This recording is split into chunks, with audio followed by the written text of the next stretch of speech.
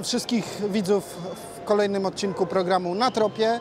E, Mam zaszczyt i niebywałą przyjemność zaprosić jak co roku na tym razem już 11. edycję Międzynarodowych Targów Hubertus Expo e, 2014. Już po raz 11 robimy taką imprezę. W tym roku e, mamy 152 wystawców. Podobnie jak w latach ubiegłych impreza będzie trwała 3 dni. Towarzyszą temu rzesze różnych imprez typu pokazy kinologiczne, sokolnicze, pokazy kulinarne.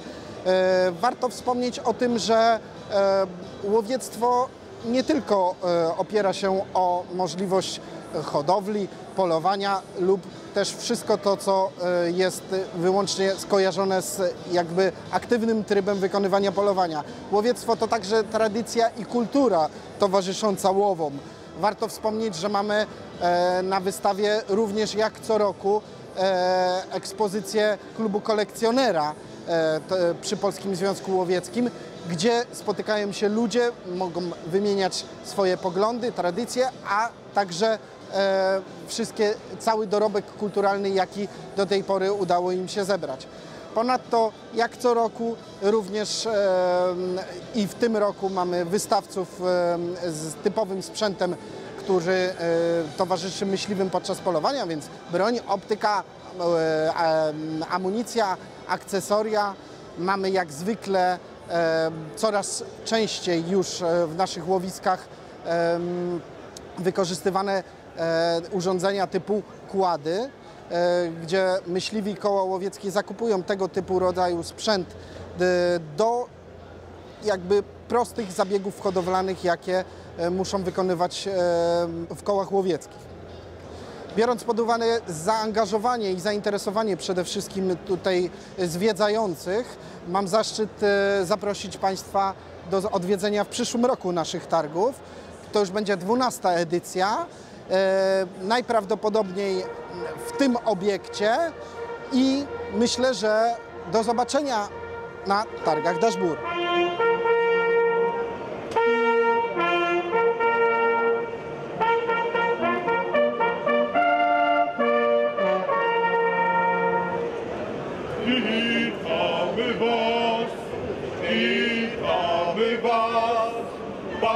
Pięknie i serdecznie witamy Was.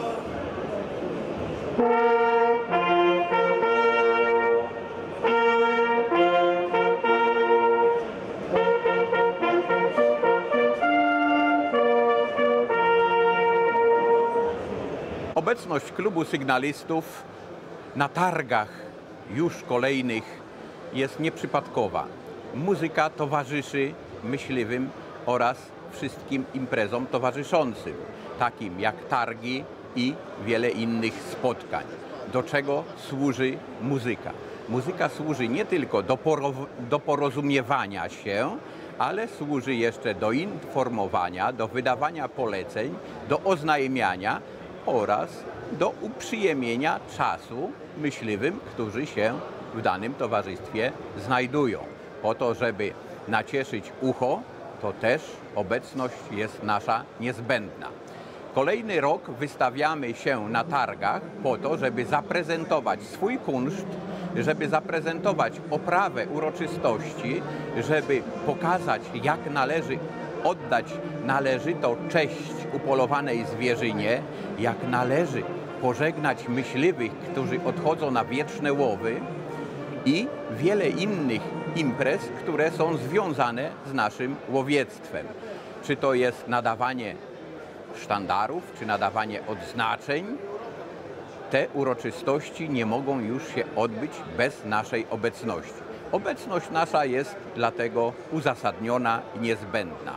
Prezentujemy wtedy utwory, które są specjalnie dla nas rozpisywane i gramy to na naszych instrumentach bezwentylowych, podkreślam, instrumenty nasze to, jest, to są instrumenty, które nie wymagają ingerencji żadnych wentyli. Jest to 130 cm zwiniętej rurki, a po to jest zwinięta, żeby wygodniej było nosić. Nic tam ukrytego nie ma. I wydobywanie dźwięku odbywa się tylko za pomocą ust. Przekazywanie tego z pokolenia na pokolenie jest bardzo ważne dla nas, ponieważ ta odnowa tych tradycji nastąpiła niedawno, bo w zasadzie powrót do tych tradycji nastąpił po 90 roku. Kultywowanie wcześniej było mało kontynuowane i w wielu przypadkach było uznawane za nawyk wielkopański. Ta normalność po 90 roku pozwoliła na organizowanie i takich y, regionalnych konkursów, konkursów ogólnopolskich, na których to cały czas dążymy do coraz doskonalszego grania. No, po prostu jest to w ramach szkolenia, żeby y, dobrze się wyszkolić, to trzeba rywalizować. No i wtedy ten kunszt mamy doskonały. Y, Obecnie dzisiaj tutaj na targach prezentujemy dużo utworów muzyki myśliwskiej po to, żeby zachęcić nie tylko tych myśliwych, którzy już są takimi mm, doświadczonymi myśliwymi, którzy znają te wszystkie sygnały i wiedzą do czego służą, ale żeby zachęcić też ludzi, którzy tym środowisku dopiero się pokazują. Prowadzimy szkolenia, prowadzimy kursy, prowadzimy różnego rodzaju organizowane przez nas spotkania, na których to przekazujemy tą tradycję, żeby można było to dalej kultywować. Klub Sygnalistów Myśliwskich zachęca, aby każdy, kto jest chętny, mógł się zgłosić do swojego zarządu okręgowego. W większości przypadków w każdym zarządzie organizowany jest taki kurs, takie szkolenie, które prowadzimy i co roku odbywa się takie e, możliwość e, wyszkolenia sygnalistów, którzy będą kultywowali tradycję, a jeśli nawet nie, to nie ma żadnego obowiązku tkwić w tym, tak jak niektórzy z nas, ale przynajmniej pozostanie, że będą potrafili rozpoznawać te sygnały, będą yy, wiedzieli, kiedy należy oddać należyty szacunek poprzez zdjęcie nakrycia głowy, tak jak się to stosuje przy yy, wszelkiego rodzaju mm, sygnałach pokotowych, przy sygnale powitanie, przy sygnale daszbur, przy sygnale pasowanie myśliwskie. Są to y, takie najważniejsze momenty, w których należy ten szacunek okazać. Wiedza na ten temat jest niezbędna i nie wszystkie y, organizacje potrafią tak przekazać, jak sygnaliści to przekazują. Także zachęcam do zgłaszania się do zarządów okręgowych i później do klubu sygnalistów, bo my dalej koordynujemy te spotkania, staramy się w jakiś sposób zabezpieczyć merytorycznie wszystkie y, te y, programy, żeby doskonalić i uczyć nowych sygnalistów. Miejsca u nas w naszych szeregach jest bardzo dużo, chętnie służymy swoją pomocą, wiedzą, no i do spotkania w łowisku. Daszbur. Z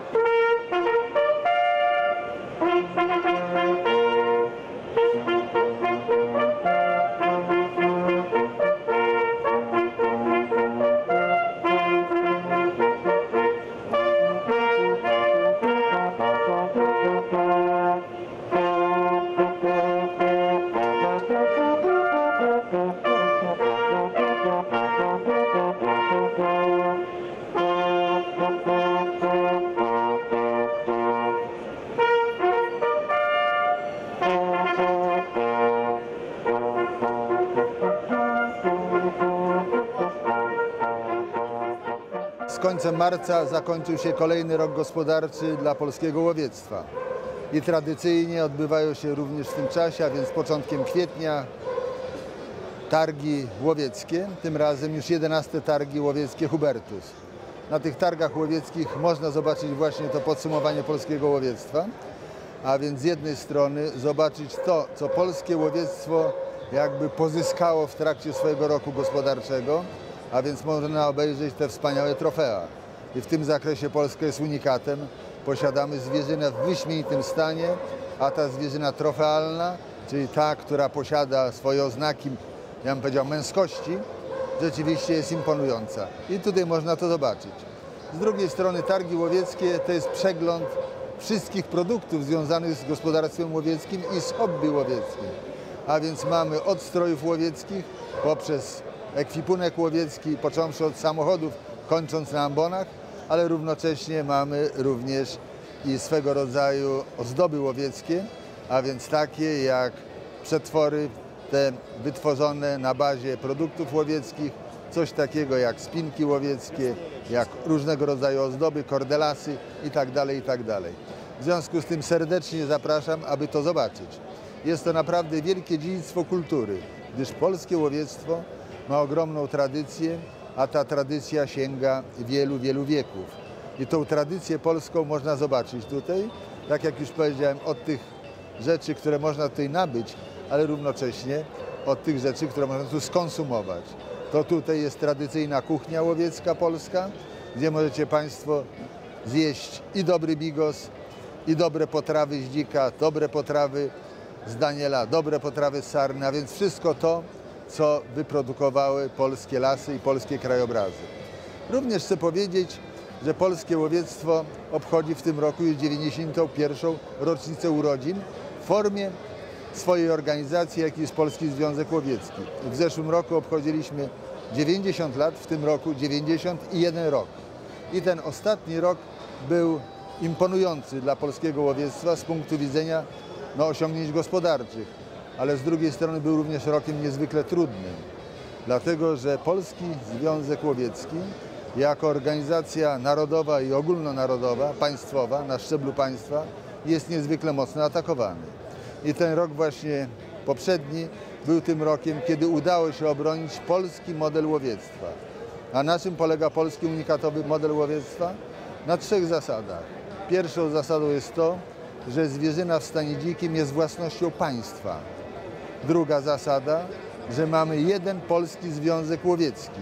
A więc o ile ktoś chce być myśliwym w Polsce, musi należeć do Polskiego Związku Łowieckiego. I trzecia zasada, że minimum powierzchni, na której się gospodaruje, to jest 3000 hektarów. Jest to obwód łowiecki.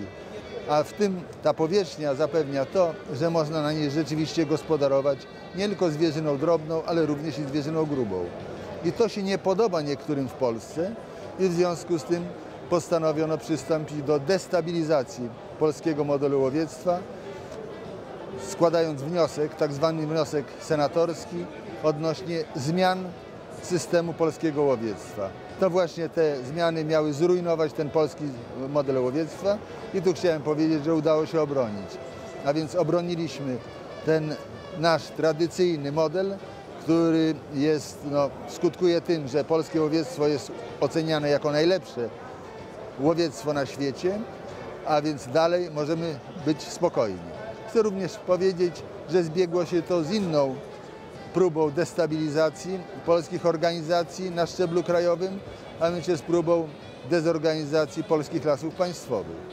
Mówię o tym specjalnie, dlatego że Polski Związek Łowiecki, polskie łowiectwo jest ściśle powiązane z gospodarką leśną. I gospodarka leśna, i gospodarka łowiecka posługuje się główną zasadą, a więc zasadą zrównoważonego rozwoju. To zasada, która mówi korzystajmy z tych zasobów, te zasoby mogą służyć człowiekowi, ale korzystajmy w takim zakresie, aby było więcej na koniec okresu rozliczeniowego. Mamy okres rozliczeniowy w Polskim Związku Łowieckim, czyli to prezentowane jest tutaj na targach Hubertus, ale również i okres rozliczeń w polskim lasach również nastąpił i jedno i drugie okazało się wielkim sukcesem. Ale o ile udało się obronić Polski Związek Łowiecki, ten model e, po- polskiego łowiectwa, o tyle ten atak na lasy zakończył się sukcesem drugiej strony. A mianowicie ten sukces drugiej strony w cudzysłowie polega na tym, że zabrano polskim lasom państwowym ich wypracowane pieniądze na ich działalność gospodarczą. Polskie lasy państwowe w tym roku zostały obciążone decyzją polityczną koalicji rządzącej Platformy Obywatelskiej i Polskiego Stronnictwa Ludowego kwotą 800 milionów złotych. 800 milionów złotych to jest skumulowany zysk gospodarczy teoretycznie skumulowany z okresu 4 lat. I to lasom państwowym zabrano. Zabrano również im taką samą sumę w roku następnym, a od roku 2016 mają być obciążone daniną w wysokości 2% od przychodów. To będzie na ogół więcej niż lasy państwowe mogą zarabiać w ciągu jednego roku, a ten zarobek jest przeznaczony na funkcjonowanie gospodarstwa leśnego. I tu ponieśliśmy swego rodzaju klęskę, ale ta klęska jest no, jeszcze nie powiedziane, że rzeczywiście zakończy się klęską. Dlaczego? Dlatego, że społeczeństwo stanęło w obronie polskich lasów państwowych, jak również w obronie polskiej ziemi.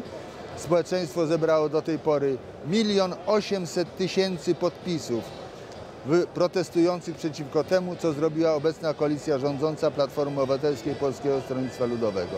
Mam nadzieję, że dojdzie do debaty w Sejmie, następnie do referendum i tą sprawę krytyczną odwrócimy.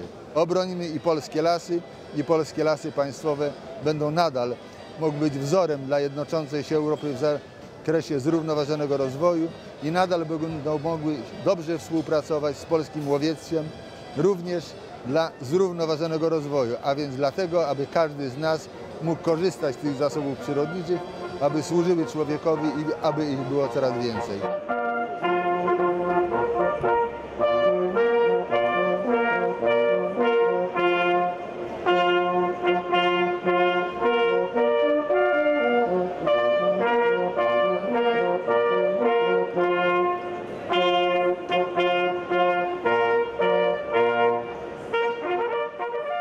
Witam Państwa serdecznie. Polskie Stowarzyszenie Myślistwa Łuczniczego po raz kolejny, trzeci już z rzędu gości na targach łowieckich Hubertus Expo w Warszawie. Zapraszamy serdecznie na nasze osie łucznicze, gdzie każdy może spróbować swoich sił w strzelaniu z łuku bloczkowego myśliwskiego i po krótkim instruktażu, który za chwileczkę pokażemy, może postrzelać razem z nami do figur 2D. Układ celowniczy składa się z dwóch elementów, z przeziernika i z celownika myśliwskiego i cała sztuka w strzelaniu z tego łuku polega na tym, żeby po złożeniu się do strzału zgrać ze sobą oba przyrządy. Patrząc przez przeziernik okiem dominującym, w jego prześwicie muszę widzieć całą okrągłą obudowę celownika myśliwskiego. I po zgraniu tych przyrządów wybieram sobie konkretny pin światłowodowy i kotwiczę go na celu. W naszym przypadku na tej odległości to będzie górny czerwony światłowód.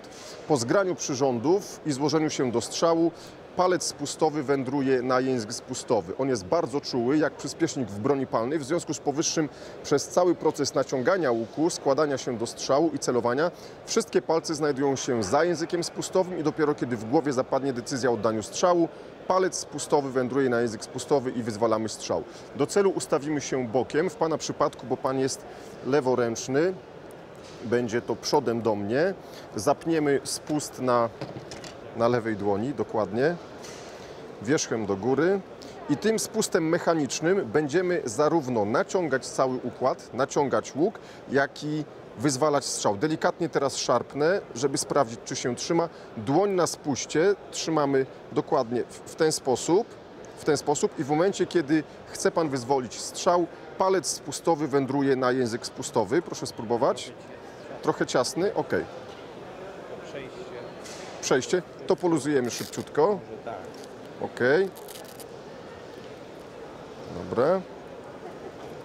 Proszę tylko pamiętać, żeby w trakcie naciągania łuku i składania się do strzału nie musnąć y, palcem języka spustowego. Ustawiamy się bokiem do celu, czyli przodem do mnie. W prawą dłoń uj, ujmuje Pan łuk.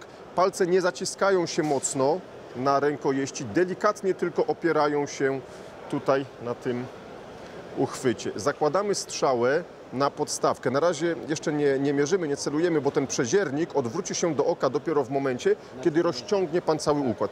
Proszę teraz uprzejmie zapiąć spust na, Ale tu wtedy nie korzystam na język spustowy do tyłu, do przodu.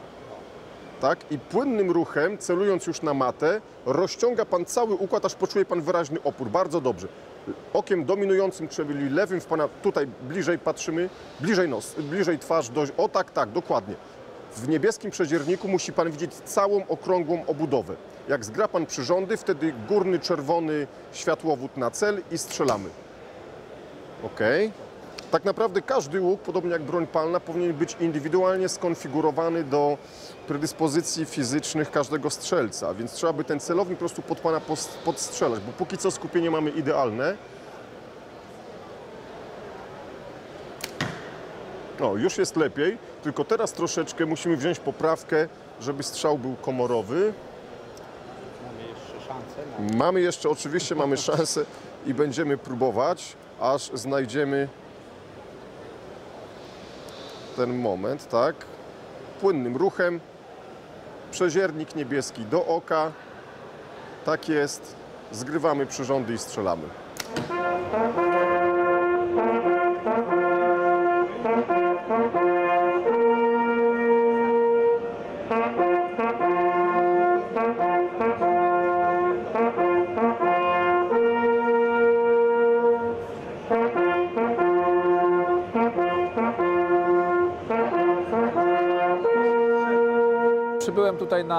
Targi Expo 2014. Jest to już 11 edycja tych targów. I dlaczego tutaj przybyłem? Przybyłem tutaj po to, żeby y, ubogacić swoją osobę, a także swój też krótki wprawdzie, ale y, piękny dorobek y, łowiecki. Y, Przyjechałem tutaj też po to, żeby spotkać się przede wszystkim z człowiekiem, z tymi ludźmi, którzy y, w danym czasie, y, w tym roku 2014 i wierzę w to, że na przyszłość, ubogacają swoim doświadczeniem Polski Związek Łowiecki. Też te targi tutaj w Warszawie są dla mnie takim sygnałem, takim pozytywnym światłem, że łowiectwo jest to naprawdę coś bardzo pięknego. Coś, co y, trzeba kultywować, co trzeba y, promować, co trzeba wspierać każdym stanem, a także tutaj ja jako stanem y, księdza katolickiego. I też chcę powiedzieć, że jest wiele, wiele takich różnych sił. Wprawdzie czasami one się ujawniają, czasami gdzieś tam się ukrywają, które atakują Polski Związek Łowiecki za to, że niby łowiectwo jest to y, mordowanie, męczenie zwierząt, co jest naprawdę wielkim, wielkim kłamstwem, bzdurą, gdyż łowiectwo jest to naprawdę na pierwszym miejscu ochrona y, środowiska, wspieranie danych gatunków y, zwierzyny, które no, przede wszystkim znajdują się na terenie Rzeczpospolitej Polskiej. I chcę powiedzieć, że to jest piękna sprawa. Piękna sprawa, nawet poprzez to możemy dodać, że tu przy, przy, przybywają różni ludzie z różnych środowisk. Y, Są to i mężczyźni, są to i niewiasty. Y, Też jest bardzo szerokie grono y, polityków z różnych, można powiedzieć, tutaj grup politycznych, od, od A, jakbym powiedział, do Z. I tutaj naprawdę jest piękne zjednoczenie i tutaj wszyscy mówią jednym głosem, że łowiectwo jest to coś bardzo pięknego, a jest to dlatego piękne, ponieważ stworzył to Pan Bóg i dał to nam jako, y, dał nam to w dzierżawę, mówiąc czyńcie sobie ziemię poddaną i my w tym testamencie po prostu dzisiaj uczestniczymy. Korzystając z tej okazji chciałbym zaprosić y, wszystkich na obchody Hubertusa Węgrowskiego, Hubertusa Węgrowskiego, który odbędzie się w tym roku 25-26 października w Węgrowie. Y, Głównym punktem tych uroczystości, co jest ewenementem w skali światowej, jest Eucharystia, msza święta hubertowska, y, która gromadzi myśliwych, y, jeźdźców i sympatyków y, łowiectwa. Y, Ten Hubertus jest pod patronatem y, wielkiego miłośnika przyrody, y, sympatyka, y, sympatyka łowiectwa i wielkiego myśliwego pana profesora Jana Szyszko.